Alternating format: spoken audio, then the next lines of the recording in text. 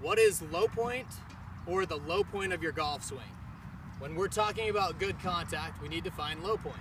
Now, if the golf swing is a circle where that club head is coming around us, the bottom of every circle is the lowest point of that circle. So the bottom of the swing arc is our low point.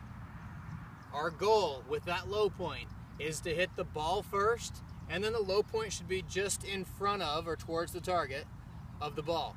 That's going to help us hit the ball first, and then any divot that we have is all going to be after it.